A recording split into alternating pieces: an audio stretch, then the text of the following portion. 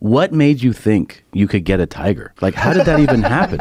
I'm in prison at the time. So I'm in prison. I'm talking to my car dealer. He has some cars that belong to a friend of mine, and he's discussing if he doesn't pay for these cars, I'm gonna sell these cars to somebody and get some horses and stuff. I said, "What? You can get horses?" Because I had a lot of cars. I said, "I'll probably get some horses too."